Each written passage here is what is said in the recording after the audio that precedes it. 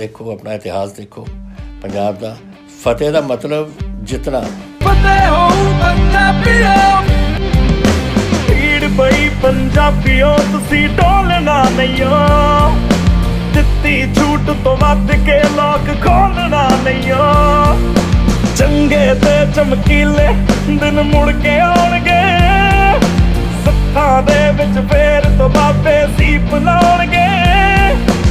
ਫਿਕਰਾਂ ਦੀਆਂ ਪੰਡਾਂ ਲਾ ਕੇ ਤੁਸੀਂ ਦੂਰ ਹੀ ਰੱਖਿਓ। ਪਹਿਲਾ ਵਰਗਾ ਚਿਹਰਿਆਂ ਤੇ ਤੁਸੀਂ ਨੂਰ ਹੀ ਰੱਖਿਓ। ਇਹਨਾਂ ਕਾਲੀਆਂ ਰਾਤਾਂ ਦੀ ਜਦੋਂ ਸੁਬਹ ਹੋਊਗੀ, ਫਤਿਹ ਹੋ ਪੰਜਾਬੀਆਂ, ਫਿਰ ਫਤਿਹ ਹੋਊਗੀ। ਫਤਿਹ ਹੋ ਪੰਜਾਬੀਆਂ, ਫਿਰ ਫਤਿਹ ਹੋਊਗੀ। ਇਹ ਤੁਹਾਡੇ ਹੱਥ ਦੇ ਵਿੱਚ ਹੈ ਜਾਣ ਲੱਗੇ ਮਾਸਕ ਪਾਉਣਾ ਸੋਸ਼ਲ ਡਿਸਟੈਂਸਿੰਗ ਰੱਖਣੀ, ਨਾਲੇ ਹੱਥ ਧੋਣਾ, ਇਹ ਤੁਸੀਂ ਗੱਲਾਂ ਕਰਦੇ ਰਹੋ ਤੇ ਮੈਨੂੰ ਪੂਰਾ ਭਰੋਸਾ ਹੈ ਕਿ ਆਪਣਾ ਠੀਕ, ਤੁਹਾਨੂੰ ਕੱਲੇ ਕੱਲੇ ਪੰਜਾਬੀ ਨੂੰ ਆਪਣਾ ਰੁਖ ਬਦਲਣਾ ਪਊ, ਇਹ ਲੜਾਈ ਆਪਾਂ ਨੂੰ ਇਸ ਤਰੀਕੇ ਨਾਲ ਲੜਨੀ ਪਊ, ਜੈਸੇ ਆਪਾਂ ਕਿਸੇ ਮੁਲਕਾਂ ਨਾਲ ਲੜਦੇ ਹਾਂ ਤੇ ਅੰਤ ਵਿੱਚ ਅਸੀਂ ਫਤਿਹ ਹੋ ਗਏ। ਦਾ ਮਤਲਬ ਇਹ ਹੈ ਕਿ ਜਿਹੜੀ ਇਹ ਬਿਮਾਰੀ ਆਈ ਹੈ, ਇਹਦੇ ਤੇ ਅਸੀਂ ਕਾਬੂ ਪਾਉਣੀ, ਉਹ ਸਾਡੀ ਫਤਿਹ ਹੋ ਔਰ ਪੰਜਾਬ ਨੂੰ ਸਹੀ ਰੱਖਣਾ, ਉਹ ਫਤਿਹ ਹੈ ਸਾਡੀ। ਹੋ ਪੰਜਾਬੀਆਂ, ਫਿਰ ਫਤਿਹ ਹੋਊਗੀ।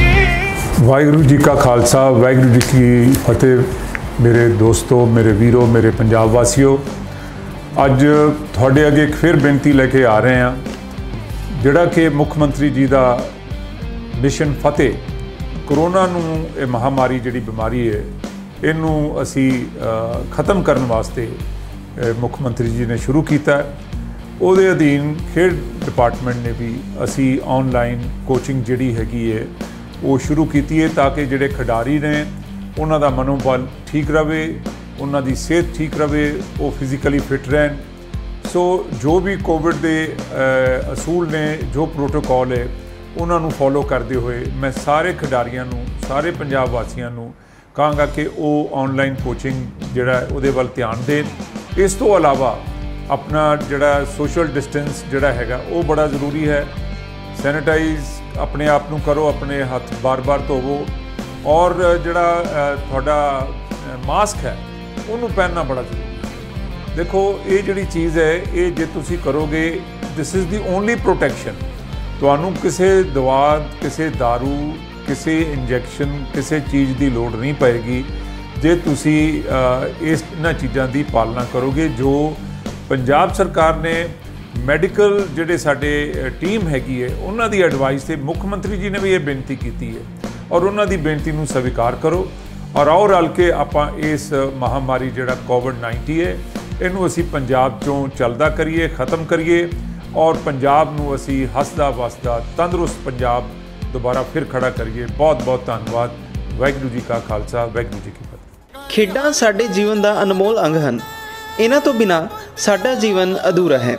ਸਰਵਪੱਖੀ ਵਿਕਾਸ ਕਰਨ ਵਿੱਚ ਖੇਡਾਂ ਦਾ ਬਹੁਤ ਅਹਿਮ ਯੋਗਦਾਨ ਹੁੰਦਾ ਹੈ ਅਤੇ ਇਸੇ ਸਰਵਪੱਖੀ ਵਿਕਾਸ ਨੂੰ ਯਕੀਨੀ ਬਣਾਉਣ ਦੇ ਲਈ ਖੇਡ ਵਿਭਾਗ ਪੰਜਾਬ ਮੰਤਰੀ ਜੀ ਰਾਣਾ ਗੁਰਮੀਤ ਸਿੰਘ ਜੀ ਸੋਢੀ, ਪ੍ਰਮੁੱਖ ਸਕੱਤਰ ਡਾਕਟਰ ਸ਼੍ਰੀ ਡੀਪੀਐਸ ਖਰਬੰਦਾ ਜਿਹੜੇ ਦਿਸ਼ਾ ਨਿਰਦੇਸ਼ਾਂ ਹੇਠ ਨੌਜਵਾਨਾਂ ਦੇ ਸਰਵਪੱਖੀ ਵਿਕਾਸ ਦੇ ਲਈ ਵਚਨਬੱਧ ਹੈ। ਅੰਬਰ ਪਦਾ ਹੈ ਮੰਗੇ ਕਰ ਤੂੰ ਜੋ ਫੈਸਲਾ ਹੋ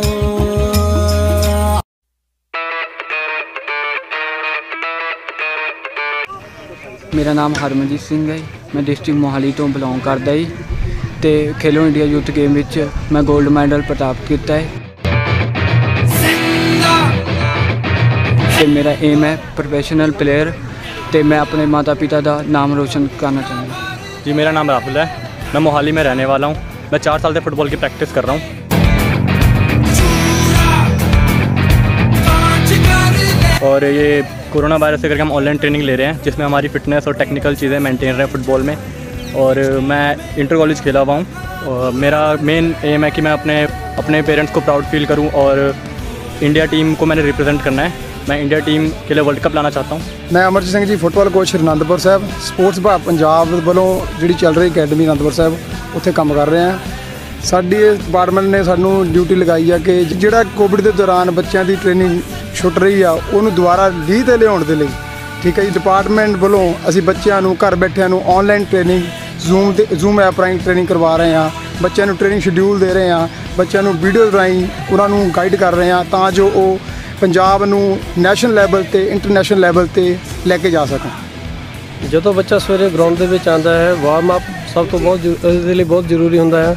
ਵਾਰਮ ਅਪ ਦੇ ਵਿੱਚ, ਸਾਡੇ ਕੋਲ ਕਾਫੀ ਸਾਰੀਆਂ ਐਕਸਰਸਾਈਜ਼ ਨੇ, ਜਿਹਦੇ ਨਾਲ ਬੱਚਾ ਫਿਜ਼ੀਕਲੀ ਤੇ ਮੈਂਟਲੀ ਤਿਆਰ ਹੁੰਦਾ ਹੈ ਵਾਰਮ ਅਪ ਦੇ ਵਿੱਚ ਅਸੀਂ jogging jogging side way running high knee action dynamic stretching free hand exercise ਅਸੀਂ ਕਰਾਉਂਦੇ ਹਾਂ ਕਿ ਬੱਚਾ ਅੱਗੇ ਵਾਲੀ ਐਕਟੀਵਿਟੀ ਦੇ ਲਈ ਤਿਆਰ ਹੋ ਜਾਵੇ ਤਾਂ ਕਿ ਉਹਦੇ ਇੰਜਰੀ ਚਾਂਸਸ ਉਹਦੇ ਮਿਨੀਮਾਈਜ਼ ਹੋ ਜਾਣ ਤੇ ਬੱਚਾ ਨੈਕਸਟ ਐਕਸ਼ਨ ਦੇ ਲਈ ਫੁੱਲੀ ਵਾਰਮ ਅਪ ਰਹੇ कदमों से रेशम खींच दे पीछे कुछ न आगे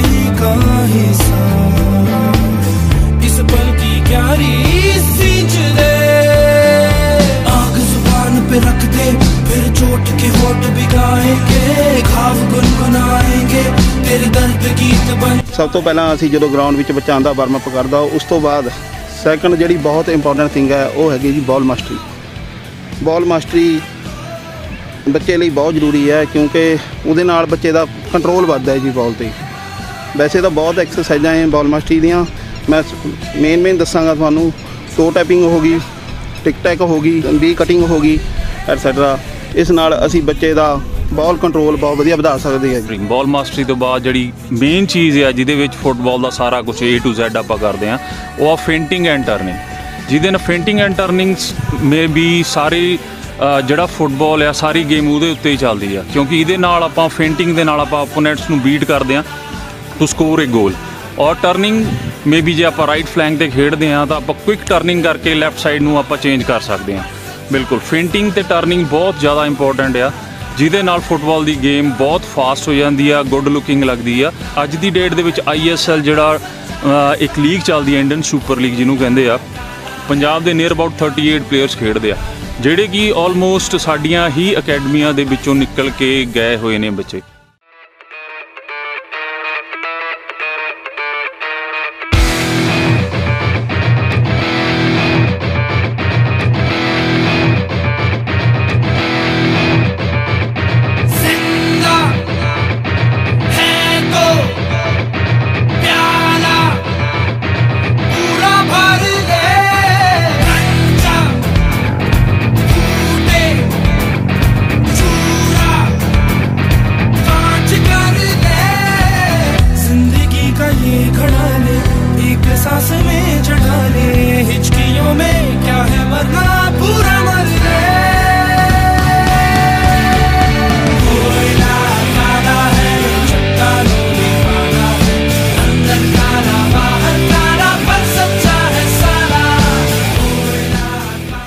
ਤੇ ਸਾਡੀ ਕੋਸ਼ਿਸ਼ ਇਹੀ ਆ ਕਿ ਜਿੱਦਾਂ ਸਾਡੇ ਪੁਰਾਣੇ ਪਲੇਅਰਸ ਜਿਹੜੇ ਹੁਣ ਇਸ ਵੇਲੇ ਇੰਡੀਆ ਟੀਮਾਂ 'ਚ ਖੇਡ ਰਹੇ ਨੇ ਸੀਨੀਅਰ ਇੰਡੀਆ ਦੇ ਵਿੱਚ, ਕਿ ਜਿਹੜੇ ਹੁਣ ਆਉਣ ਵਾਲੀ ਯੰਗ ਜਨਰੇਸ਼ਨ ਆ, ਅਸੀਂ ਉਹਨਾਂ ਨੂੰ ਵੀ ਉਹਨਾਂ ਦੇ ਮੁਕਾਬਲੇ 'ਚ ਲੈ ਕੇ ਆਈਏ ਤਾਂ ਕਿ ਸਾਡੇ ਸੂਬੇ ਦਾ ਨਾਮ ਹੋਰ, ਪੰਜਾਬ ਦਾ ਨਾਮ ਹੋਰ ਰੋਸ਼ਨ ਹੋ ਸਕੇ। ਸਤਿ ਸ਼੍ਰੀ ਅਕਾਲ ਜੀ, ਮੇਰਾ ਨਾਮ ਨੇਹਾ ਮਾਨ ਹੈ। ਮੈਂ ਪੰਜਾਬ 'ਚ ਰਹਿਣ ਵਾਲੀ ਹਾਂ। ਮੈਂ ਇੱਥੇ ਮੋਹਾਲੀ 'ਚ ਪ੍ਰੈਕਟਿਸ ਕਰਦੀ ਹਾਂ ਆਪਣੇ ਕੋਚ ਸੁਰਜੀਤ ਸਿੰਘ ਜੀ ਕੋਲ, ਜੋ ਸਾਨੂੰ ਕੋਵਿਡ 19 'ਚ ਵੀ ਪ੍ਰੈਕਟਿਸ ਆਨਲਾਈਨ ਕਰਵਾਉਂਦੇ ਰਹੇ, ਜਿਹਦੇ ਨਾਲ ਮੇਰੀ ਫਿਜ਼ੀਕ ਤੇ ਫਿਟਨੈਸ ਬਣੀ ਹੋਈ ਹੈ। ਮੈਂ ਪੰਜਾਬ ਟੀਮ ਨੂੰ ਆਪਣੀ ਸੀਨੀਅਰ ਨੈਸ਼ਨਲ ਟੀਮ 'ਚ ਰਿਪਰੈਜ਼ੈਂਟ ਕੀਤਾ ਆ। ਮੈਂ ਗੁਰੂ ਨਾਨਕ ਦੇਵ ਯੂਨੀਵਰਸਿਟੀ 'ਚ ਰਹਿੰਦੀ ਹਾਂ, ਜਿੱਥੇ ਆਪਾਂ ਆਪਣੇ ਯੂਨੀਵਰਸਿਟੀ ਨੂੰ ਖੇਲੋ ਇੰਡੀਆ ਟੀ 'ਚ ਰਿਪਰੈਜ਼ੈਂਟ ਕੀਤਾ ਤੇ 올 ਇੰਡੀਆ ਯੂਨੀਵਰਸਿਟੀ ਚੈਂਪੀਅਨਸ਼ਿਪ ਰਿਪਰੈਜ਼ੈਂਟ ਕੀਤਾ ਮੇਰਾ ਏਮ ਹੈ ਇਹੀ ਹੈ ਕਿ ਮੈਂ ਪੰਜਾਬ ਟੀਮ ਦਾ ਨਾਮ ਆਪਣੀ ਨੈਸ਼ਨਲ ਟੀਮ 'ਚ ਜਾ ਕੇ ਰੋਸ਼ਨ ਕਰਾਂ ਤੇ ਆਪਣੇ ਮਾਪਿਆਂ ਨੂੰ ਆਪਣੇ ਉੱਤੇ ਪ੍ਰਾਊਡ ਫੀਲ ਕਰਾਂ। ਮੇਰਾ ਨਾਮ ਪਰਨੀਤ ਸਿੰਘ ਆ। ਮੈਂ ਖਰੜ ਤੋਂ ਬਿਲੋਂਗ ਕਰਦਾ ਹਾਂ।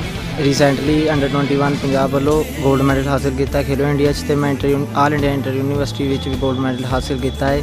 ਮੇਰਾ ਏਮ ਹੈ ਕਿ ਮੈਂ ਪ੍ਰੋਫੈਸ਼ਨਲ ਫੁੱਟਬਾਲਰ ਬਣਾ ਤੇ ਆਪਣੇ ਹਲਕੇ ਦਾ ਨਾਮ ਰੋਸ਼ਨ ਕਰਾਂ। ਮਾਨਯੋਗ ਮੁੱਖ ਮੰਤਰੀ ਪੰਜਾਬ ਸਰਕਾਰ ਦੀ ਦਿਸ਼ਾ ਨਿਰਦੇਸ਼ਾਂ ਅਨੁਸਾਰ ਪੰਜਾਬ ਭਰ ਵਿੱਚ ਮਿਸ਼ਨ ਫਤਿਹ ਜੰਗੀ ਪੱਧਰ ਤੇ ਚੱਲ ਰਿਹਾ ਔਰ ਖੇਡ ਵਿਭਾਗ ਵੀ ਉਹਦੇ ਵਿੱਚ ਵੱਧ ਚੜ੍ਹ ਕੇ ਹਿੱਸਾ ਲੈ ਰਿਹਾ ਔਰ ਇਹਦੇ ਤਹਿਤ ਅਸੀਂ ਸਾਡੇ ਖੇਡ ਜਿਹੜੇ ਸਾਡੇ ਸਪੋਰਟਸ ਪਰਸਨ ਨੇ, ਸਾਡੇ ਭਾਵੇਂ ਜ਼ਿਲ੍ਹਾ ਪੱਧਰ ਦੇ ਹੋਣ ਨੈਸ਼ਨਲ ਪੱਧਰ ਦੇ ਸਟੇਟ ਪੱਧਰ ਦੇ, ਉਹਨਾਂ ਦੀ ਗਾਈਡੈਂਸ ਵਾਸਤੇ ਮਾਨਯੋਗ ਮੰਤਰੀ ਸਾਡੇ ਸਪੋਰਟਸ ਮਿਨਿਸਟਰ ਰਾਣਾ ਗੁਰਮੀਤ ਸਿੰਘ ਸੋਢੀ ਸਾਹਿਬ ਦੀ ਦੇਖ ਰੇਖ ਹੇਠ ਅਸੀਂ ਆਨਲਾਈਨ ਵੀਡੀਓ ਲਾਂਚ ਅੱਜ ਕੀਤੀ ਹੈ।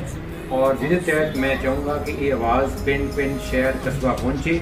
ਉਹਨਾਂ ਖੇਡ ਪਰਸਨ ਵਾਸਤੇ, ਉਹਨਾਂ ਸਪੋਰਟਸ ਪਰਸਨ ਵਾਸਤੇ ਕਿ ਉਹਦੇ ਵਿੱਚ ਵੀਡੀਓਜ਼ ਜਿਹੜੀਆਂ ਨੇ, ਇਹ ਸਾਡੇ ਕੋਚਸ ਜਿਹੜੇ ਨੇ ਇੰਟਰਨੈਸ਼ਨਲ ਪੱਧਰ ਦੇ ਕੋਚਸ ਨੇ, ਸਾਡੇ ਕੋਲ ਨੈਸ਼ਨਲ ਪੱਧਰ ਦੇ ਕੋਚਸ ਨੇ, ਉਹਨਾਂ ਨੇ ਟੈਕਨੀਕ ਜਿਹੜੀਆਂ ਨੇ, ਭਾਵੇਂ ਗੇਮਸ ਅੱਜ ਦੀ ਡੇਟ ਵਿੱਚ ਕੁਝ ਗੇਮਸ ਬੰਦ ਕੀਤੀਆਂ ਹੋਈਆਂ ਨੇ, ਪਰੰਤੂ ਇਹ ਗੇਮਾਂ ਦੇ ਰਾਹੀਂ ਆਪਾਂ ਆਨਲਾਈਨ ਟ੍ਰੇਨਿੰਗ ਮੇਰੀ ਅਪੀਲ ਹੈ ਕਿ ਸਾਰੇ ਦਾ ਵੱਧ ਚੜ੍ਹ ਕੇ ਇਹਦਾ ਫਾਇਦਾ ਉਠਾਓ ਇਹਨਾਂ ਗੇਮਸ ਤੋਂ ਟੈਕਨੀਕਸ ਤੋਂ ਸਿੱਖੋ ਇਹ ਗੇਮਸ ਦੱਸੀਆਂ ਨੇ ਕਿ ਵਾਰਮ ਅਪ ਦਾ ਕੀ ਫਾਇਦਾ ਹੈ ਟੈਕਨੀਕ ਕੀ ਹੈ ਡਾਈਟ ਕੀ ਹੈ ਕਿਸ ਟਾਈਮ ਕੀ ਕਰਨੀ ਹੈ ਕੂਲਿੰਗ ਆਫ ਕਿਦਾਂ ਕਰਨਾ ਹੈ ਸੋ ਮੈਂ ਆਪਣੇ ਸਪੋਰਟਸ ਪਲੇਅਰ ਸਾਡੇ ਜਿਹੜੇ ਯੁਵਾ ਸਾਥੀ ਨੇ, ਪਿੰਡਾਂ ਦੇ, ਸ਼ਹਿਰਾਂ ਦੇ, ਇਹਦਾ ਫਾਇਦਾ ਉਠਾਈਏ ਔਰ ਪੰਜਾਬ ਸਰਕਾਰ ਦਾ ਇਹ ਮਿਸ਼ਨ ਫਤਿਹ ਵਿੱਚ ਜੁੜਦੇ ਹੋਏ ਪੰਜਾਬ ਦਾ, ਦੇਸ਼ ਦਾ, ਆਪਣੇ ਰਾਜ ਦਾ, ਆਪਣੇ ਸ਼ਹਿਰ ਦਾ, ਆਪਣੇ ਪਿੰਡ ਦਾ ਨਾਮ ਰੋਸ਼ਨ ਕਰੀਏ। ਬਹੁਤ ਬਹੁਤ ਧੰਨਵਾਦ। ਜੈ ਹਿੰਦ।